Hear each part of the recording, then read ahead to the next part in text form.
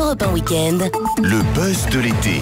7h54, le buzz de l'été, Guy Birembaum. Je ne l'ai pas annoncé assez, mais parce que vous connaissez leur par cœur, maintenant vous êtes là chaque matin. Cher Guy, bonjour. Bonjour Wendy. Et je crois que vous avez un petit peu mal dormi, vous compatissez, j'imagine, avec Google, Oui. qui a des soucis avec son application géniale euh, Street View qui permet de voir les rues, les maisons de nos villes, de nos campagnes de haut. Il y a, il y a problème. Il y a problème, donc Mm. vous la connaissez puisque vous venez d'expliquer que ça permet de se repérer dans les rues de nos villes. Vous Oui. tapez une adresse, vous avez une photographie à 360 degrés de l'endroit où vous vous rendez.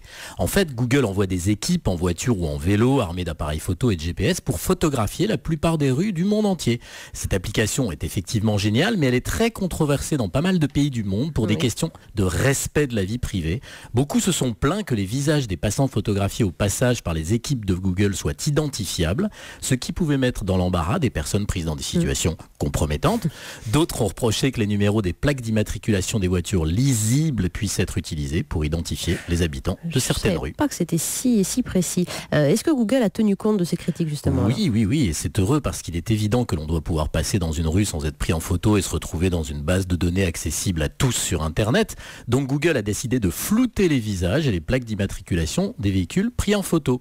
Mais ces efforts ne suffisent pas. La bronca anti-Google Street View a repris quand on a appris que les véhicules qui prennent les photos avaient aussi enregistré, a priori par erreur, des communications issues de réseaux Wi-Fi Ah oui, ça va non, loin, là. Oui, oui, ça va loin, non sécurisé. Alors les représentants de Google se sont excusés pour cette saisie pirate de données, des courriels, des vidéos, rien du tout quoi. Oui. Mais les autorités d'une dizaine de pays ont ouvert des enquêtes et pas pour rire, puisque mardi, les locaux de Google en Corée du Sud ont été perquisitionnés par la police, qui a même saisi des disques durs. Et ce bug pose une autre question, Guy. hein. Bah oui Wendy, imaginez que ces données personnelles recueillies par Google de façon anormale tombent dans les mains d'une dictature. Ce serait dangereux pour tous les opposants qui risqueraient de voir tous leurs échanges tomber entre les mains des gouvernements qu'ils combattent. Mais on sait pourquoi euh, Google a recueilli toutes ces données privées au passage des, des véhicules, par exemple? Oui, alors d'après les spécialistes, c'était simplement pour offrir un service en plus Ah, aux utilisateurs. bien.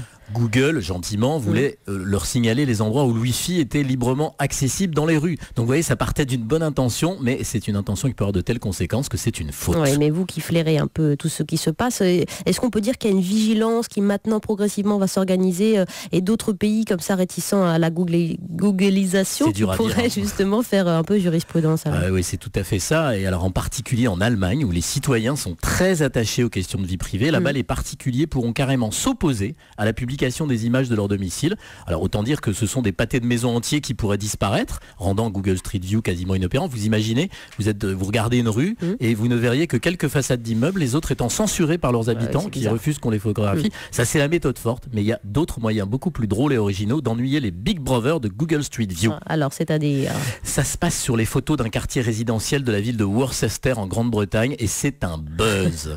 Un détail incroyable attire immédiatement l'œil de l'internaute qui utilise Google Street View pour scruter les artères de Worcester. On voit sur les images en pleine rue une silhouette allongée face contre terre sur le trottoir. Vous pouvez essayer, vous verrez ça. Mhm. L'une de ses chaussures a été ôtée et placée à ses côtés. Alors choqués et certains de visionner carrément une scène de crime, pas mal d'habitants de la ville ont signalé la présence d'un cadavre. c'est terrible, c'est pas un vrai cadavre, euh, rassurez-nous. Non, Wendy, c'est une petite fille de 10 ans qui est allongée sur la capture photo de cette rue de Ouais. Worcester. Maligne. hein. Très maline, elle s'appelle Azura Bishbaum et elle a tout simplement fait la morte l'été dernier alors qu'elle jouait avec un ami devant son domicile. Et figurez-vous Wendy que c'était juste au moment, ça Oh, tombe bien, où le véhicule de Google passait dans sa rue pour l'immortaliser. Alors Azura qui est futée prétend hier dans le Daily Mail qui révèle la vérité sur ce buzz qu'elle ne savait pas que la voiture de Google la photographiait. Je suis pas bien sûr de la croire, surtout quand elle explique euh, faussement naïve qu'elle est très impressionnée de se retrouver sur Internet. Là, franchement, je la crois plus du tout. Je crois qu'elle a cherché le buzz et qu'elle a bien réussi. Et comme justement l'été, bah, le buzz ne prend pas de vacances, moi je vous dis à demain. Oui, Wendy. et vous n'avez pas besoin de vous allonger sur la chaussée pour euh, qu'on parle de vous, cher. Je, ah, je vous remercie, mais je peux le faire. hein. Merci beaucoup. À demain, dimanche. À demain.